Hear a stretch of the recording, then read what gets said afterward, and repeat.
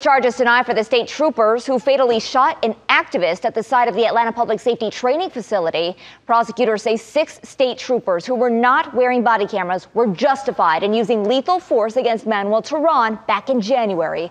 According to the special report, officers found Terán in a tent while clearing the site known as Cop City by protesters.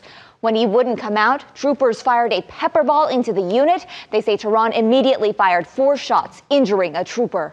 Terán was then shot 57 times. The special prosecutor concluded the officer's use of deadly force was objectively reasonable and there was no criminal intent. We have the full 31 page report on AtlantaNewsFirst.com. New